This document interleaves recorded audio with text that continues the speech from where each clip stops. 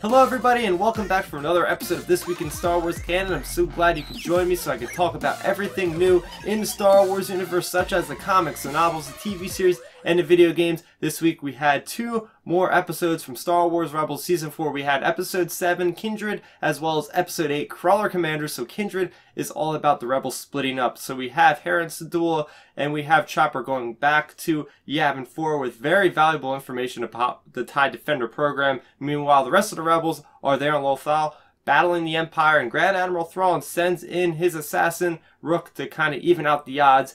And the next episode of Crawler Commanders, you have the rebels still on Lothal. They're trying to get a signal out to the rebellion, and in order to do that, they have to commandeer this mining guild ship with a signal that's strong enough to get out past the Imperial blockade. And then you have Hera, who is at base one on Yavin 4, and she's trying to convince the rebellion that they need to attack that TIE Defender factory on Lothal, or else their fleet will get decimated. But I do have the reviews on the YouTube channel right now, so make sure you check them out if you want to hear my criticisms and what I liked and what I didn't like about those episodes. And next thing I want to talk about is we have a brand new comic. This is Star Wars number 38. Not only does this start a new arc called The Ashes of Jedha, but it also is a big switch on the creative team for this comic. So we used to have Jason Aaron, who has been writing this since issue number one, but now Kieron Gillen, who used to write Darth Vader as well as Dr. Aphra has taken over the reins. So this is a very interesting comic because we're now bridging into the gap between some Rogue One uh, content as well as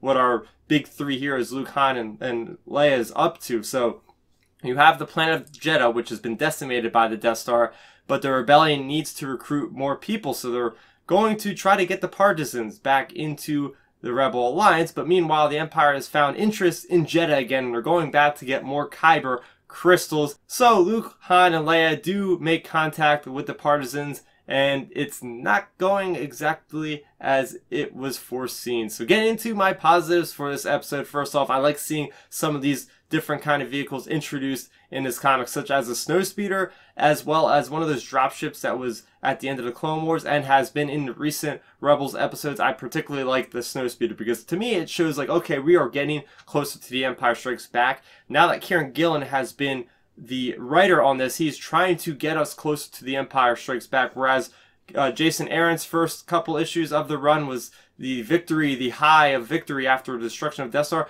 Kieron Gillen's going to get into the darker stuff now. He's going to get into the part where, you know, the Empire strikes back. We're going to get to that point where the Empire is going to start to win. Another thing I enjoyed about this is seeing what has become of Jedha from a surface point of view as well as from space. So on the surface, it looks like hell, basically. There's dust, there's red, it's all over the freaking place. And from the outside, there's just magma, molten core exposed. It's just freaking incredible to see that. Um, something else I enjoyed about this issue is seeing this character who is an aspirant to the disciple of the Whills. His name is Cholko. To me, this is interesting because he's very spiritual. He's talking to Luke, who's trying to be a Jedi, obviously. So he's trying to get some of this information for this person that worshipped the Force. And interesting enough, these types of aspirants were actually explored a little bit in that young reader novel, Guardians of the Whills. Moving over to the Imperial characters that were introduced in this issue, we have both Commander Kanchar as well as Queen uh, Queen Trios of Shu Torun. So first off, Commander Kanchar, this guy's a badass. He is a war veteran. He has lost an eye. He doesn't have an arm, but he has a cybernetic arm, and he pretty much has the presence of a Darth Vader because he just interrogates this officer that's not getting the Kyber crystals fast enough out of Jedha and just kills him and, and takes over command. Moving over to Queen Trios, that name might sound familiar because she was actually a large part in the Darth Vader 2015 series, which was also written by Kieron Gillen. So it's cool how he's actually pulling some of his characters into this particular comic, and it just works so well with her character because we know Shu Torun is an ore mineral uh, harvester for the Empire, and now she has experience with that. Even the environments are very similar, so she's right at home now trying to direct all the things going on in Jedha. I'm guessing those Kyber crystals will probably be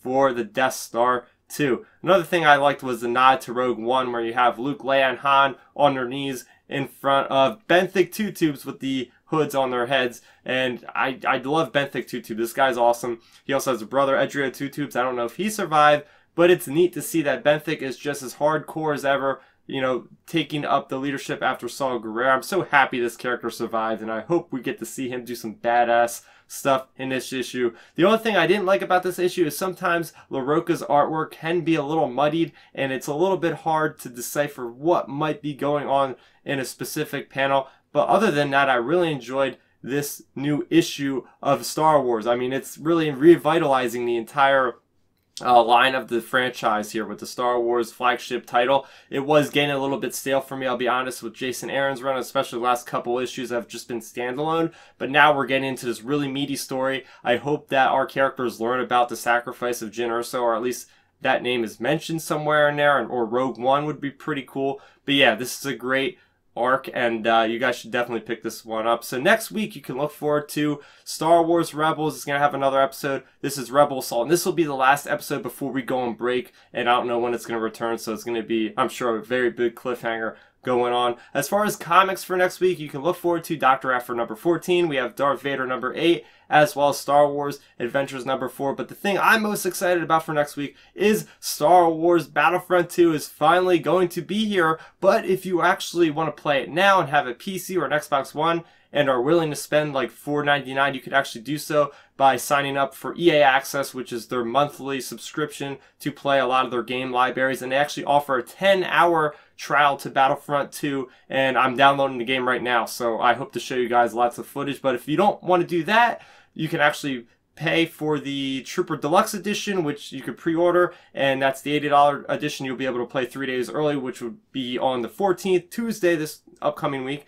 And the standard edition of the game comes out on the 17th. So I want to play with you guys on Xbox Live. My gamer tag is Starrapter, so hit me up on there if you don't friend me already. And that is going to do it for another episode of This Week in Star Wars Canon. What did you think of Star Wars number 38? How are you enjoying Star Wars Rebels? Season 4? And are you as pumped as I am for Star Wars Battlefront 2? Let's talk about it in that comment section below. Make sure you are subscribed so you don't miss any of my future videos. I will be doing lots of Battlefront 2 gameplay coverage, hopefully. So make sure you're subscribed so you don't miss that. I'm Starrapter. Thank you for watching, and may the Force be with you always. Thanks for checking out the video. Please hit that thumbs up symbol. It helps me know that I'm making content that you guys enjoy. And if you enjoyed this video, I also include two videos down below you guys check out. And please consider subscribing to this channel. It helps support me and it notifies you guys of when I get new videos up on the channel. You can also contact me on Twitter, Facebook, and Instagram at Starrapter.